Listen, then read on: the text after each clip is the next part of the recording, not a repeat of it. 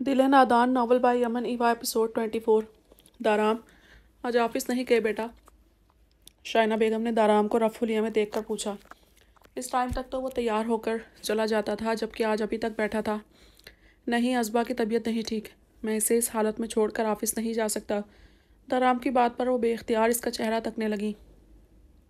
इसने कभी मौसमों की परवाह नहीं की थी। आज अपनी तबीयत ख़राब होने पर भी ज़रूर जाता था जज्बा के लिए रुक गया जो कल तक तो ठीक ही थी। इसे क्या हुआ? आई एम श्योर कोई सीरियस प्रॉब्लम नहीं होगा। आपने एक बीमार लड़की से शादी की है। वो तो सारा साल गिने चुने दिन ही ठीक होती है तो क्या हर बार घर रुकेंगे? उन्होंने बहुत मुश्किल से लहजा नरम रखा था। वरना दिल चाह रहा था जाकर इस छोटी सी लड़की को धक्के देकर घर से निकाल दे, जो दाराम को पागल बना रही थी। वो बदल रहा था, वो इतना पोजेसिव क्यों हो रहा था? मैं निकाह करते वक्त जानता था, वो बीमार लड़की है। आप ये बात मुझे हर बार मत बताया करें और इसे जब जब ज़रूरत होगी ऑफ़ मैं रुकूँगा। आपको एहसास भी है। कल इसे लेंस लगवा कर क्या हालत कर दी आप लोगों ने? अंधेरा किए ब्लाइंड लोगों की तरह पड़ी है वो। आप लोग इतने हर्टलेस कैसे हो सकते हैं? अगर आपको इसकी बात की परवाह नहीं कि वो आपके भाई की बेटी है तो अब ये बात याद रख लें, वो मेरी बीवी है दराम शाह शिराजी की बीवी। आइंदा प्लीज़ अपनी ग्रीटिंग से असबा को दूर रखिएगा। दराम से इनका रवैया बर्दाश्त नहीं हो रहा था वो संजीदगी से। और दो टोक बात करता, इनके एहसाब पर बम की तरह गिरा था। इन्हें शिद्दत से एहसास हुआ। असबा का इस घर में आना इन लोगों की वैल्यू कम कर रहा है। दाराम ने इन्हें कभी किसी से बात से नहीं रोका था। किसी हुक्मरान की तरह इसके घर में रह रही थी। आज लगा हुक्मरानी छीनी जा रही है। वो भी इस बीमार लड़की के हाथों जो इनकी नज़र में खाक थी। दाराम बस लेंस ही तो लगाए थे और वो इतना ओवर रिएक्ट कर, सिर्फ़ अटेंशन हासिल करने के लिए करती है। अब वो मेरी बहू बनकर आई है। लोगों सबको मिलने का शौक तो होगा ही। रिसेप्शन भी तो नहीं हुआ। तो ज़ाहिर है सेपरेटली लंच या डिनर पार्टीज़ करके इंट्रोड्यूस तो करवाना पड़ेगा, वो लहजा में हतुल इम्कान। नरमी लाई और इसे समझाया, वो इससे नाराज़ नहीं हो सकती थी। वो मान वाला, माँ वाला मान देता था तो इन्हें भी इतने कम वक्त में अपने सके बेटे की तरह अज़ीज़ हो गया था। रानिया से बात करें, वो जब पॉसिबल हो पाकिस्तान आए, फिर रिसेप्शन भी कर ले। मैंने ये शादी प्रॉपर वे में कंप्लीट करनी है। इसलिए सब फॉर्मेलिटीज़ भी पूरी करूँगा और प्लीज़ मामा असबा अगर एक्ट भी करे I just can bear her pain वो सारी रात परेशान रही है, सुबह बहुत मुश्किल से सोई है। कोई इतनी एक्टिंग नहीं कर सकता, वो इनकी फीकी रंगत पर नरमी से जा करते हुए बोला। उन्होंने हाँ में सर हिलाकर चेहरे पर मुस्कुराहट सजाई, वो उठकर चला गया और वो बल खाकर रह गई। कुछ ही देर में रानिया को कॉल मिलाए, अजबा के कारनामे बता रही थी। गेस्ट के सामने तो बड़ा मुस्कुरा रही थी। बस आई सी तो रेड हो रही थी, मुझे पहले ही समझ जाना चाहिए था, वो रूम में क्यों बंद हो गई। दाराम के आने से पहले नींद कर ली होगी और इसे सारी रात परेशान करके सुकून से बैठी है। तो अब्बा इतनी सी उम्र है और कैसे ड्रामे कर लेती है? पहले मेरे पागल भाई ने सर पर चढ़ाया, अब मेरा ही बेटा। इसके ड्रामे देखता पागल हुआ जा रहा है माई फुट। वो नफरत से बोलती, बिल्कुल पढ़ी लिखी मॉड लेडी नहीं लग रही थी। रानिया को बिना देखे सब सुनकर ही नीम पागल सी असबा जहर लगने लगी थी। वो रूम में आया तो soft light soft light on थी और असबा बेड टॉम से टेक लगाए, नीम दराज थी। बाबा लोग मुझे लेने आ रहे हैं, गुलाबी आँखों से। दाराम को देखते बताया, अपना लैपटॉप उठाता, दाराम चौंक कर इसे देखने लगा। तुम्हारी तबीयत ठीक नहीं है अभी, आज इन्हें मना कर दो। ब्रेकफास्ट में क्या लोगी? दराम लैपटॉप लिए इसके पास बैठता सुकून से बोला। असबा ने गर्दन मोड़कर इसे देखा और फिर से आँखें बंद कर ली। मैं ठीक हो जाऊँगी, मुझे कुछ नहीं खाना, मैं बस घर जाकर लंच करूँगी। वो अब रुकने वाली नहीं थी, इसने कुछ भी खाने से इनकार किया, मगर फिर भी इसने इसका फेवरेट नाश्ता, ब्रेड, हनी, फ्राइड एग और चाय, जो अजवा से पूछा था मंगवा कर इसे दिया, वो बगौर इसका जायज़ा लेने लगा, जो लाइम कलर कॉटन का कुर्ता कैपरी पहने तैयार बैठी थी। गीले बालों को कैचर लगाया हुआ था और अब नाश्ता करके स्टॉलर लपेट रही थी। असबा अगर तुम इस हालत में गई तो वो लोग बहुत परेशान होंगे। आज के दिन रेस्ट कर लो। मैंने तुम्हारे लिए ऑफ़ लिया है। कल मैं खुद ले जाऊँगा। तुम अच्छी लड़की हो ना। अच्छी लड़कियाँ ज़िद नहीं करती हैं इसकी ज़िद पर। इसका हाथ थाम कर स्टॉलर करने से पहले रोका और बालों से कैचर उतार कर एक साइड पर रखकर नरमी से कहा। वो इसकी ज़रूरत पर मुँह खोले इसे देखने लगी। बाल ड्राई होने से पहले बाउंड नहीं किया करो। इसके बाल उंगलियों से सवारते हुए मुस्कुरा कर कहा तो असबा होश में आती इससे दूर हुई। आपने अब क्यों ऑफ़ किया जब ज़रूरत थी तब क्यों नहीं? मेरा कैचर वापस करें। असबा ने गैर महसूस अंदाज से फासला मज़ीद बढ़ाते हुए स्टॉलर अपने गिरद लपेटा था। ओके, सॉरी, मैं कल नहीं आया। My mistake. अब तुम्हारे लिए स्पेशल रुका हूँ आज का दिन। मेरे पास रहो बस। मैंने तुम्हारी हेल्प की, अब तुम भी मेरी बात मानो, दाराम ने माजरत और रिक्वेस्ट एक साथ करके इसे देखा, जो पुरसोच नज़रों से इसे देख रही थी। वो इसके लिए कल से खामा खा कम लाइट में तंग हो रहा था। अच्छी बात है, सज़ा तो मिलनी चाहिए असबा ने दिल ही दिल में दाराम पर गुस्सा उतारा और फिर मोबाइल उठाकर अजद साहब को कॉल मिलाई। वो खुद भी इन्हें परेशान नहीं करना चाहती थी, इन्हें माजरत करती उल्टी सीधी वजाहतें देती। दाराम को बहुत क्यूट लगी थी। इसने बददिली से लैपटॉप की स्क्रीन देखी। काम बहुत था करने के लिए, लेकिन वो बिल्कुल कंसंट्रेट नहीं कर पा रहा था। इसने गहरी सांस भरते, हार मान ली और फाइल्स क्लोज करते शट डाउन किया और इसकी तरफ़ मुतवजा हुआ।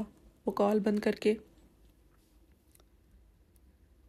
अब भी आँखें रगड़ती, चश्मा लगाए, मोबाइल पर कुछ देख रही थी।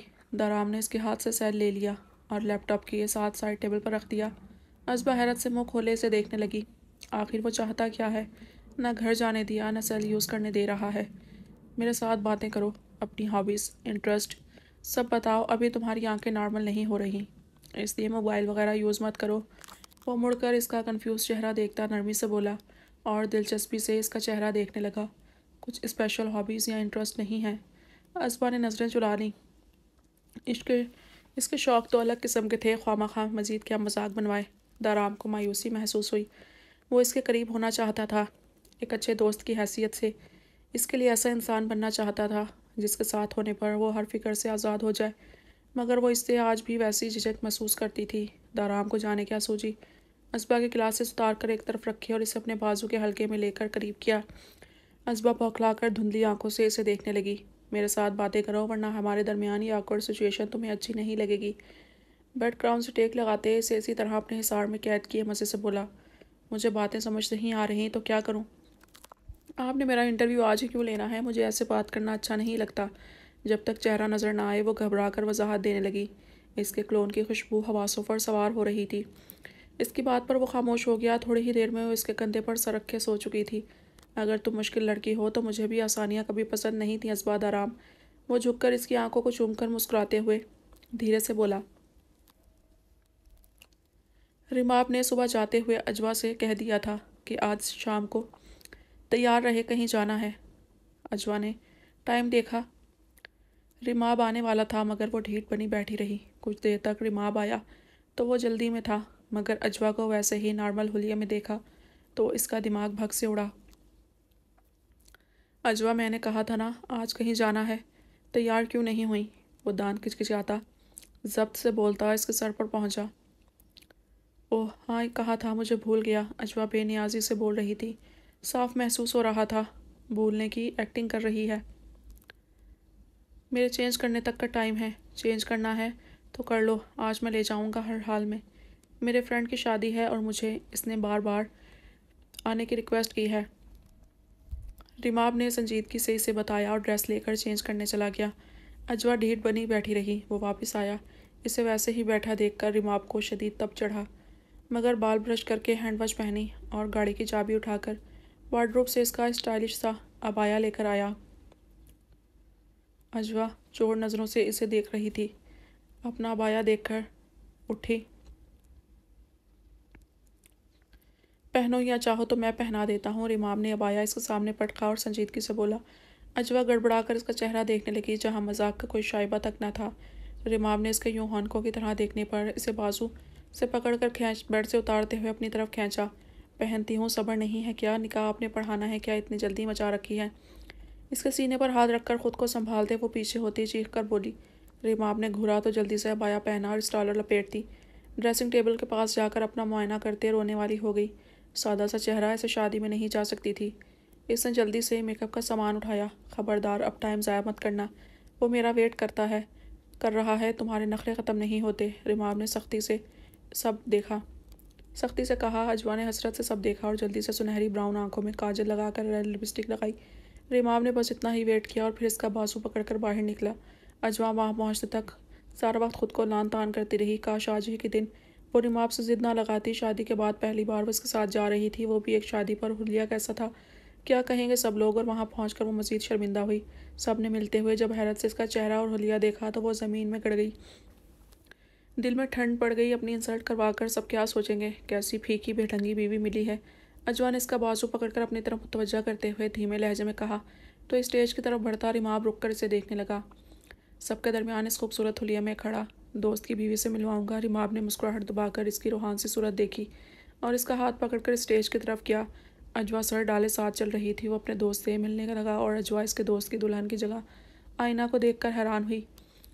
Thank you so much Rumab यार तुम्हारी वजह से आज मैं ये खुशी हासिल कर पाया हूँ। इसका दोस्त रिमाब का बार बार शुक्रिया अदा कर रहा था। अजवा और आयना ने रिमाब को देखा। यानी, इसने ये शादी करवाई थी। आयना को शर्मिंदगी के साथ इसके ज़र्फ पर हैरत हुई, जबकि अजवा के दिमाग का बोझ हल्का हो गया था। इट्स ओके okay, यार। मैंने कोई एहसान नहीं किया।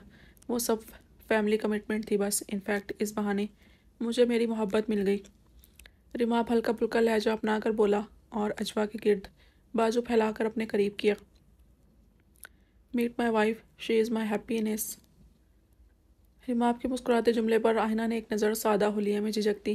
पुरकशिश से रिमाप की कज़न को देखा और सर झुका लिया। रिमाप का दोस्त रिस्पेक्ट से सलाम करता। हाल अहवाल पूछने लगा जबकि अजवा का शर्मिंदगी से।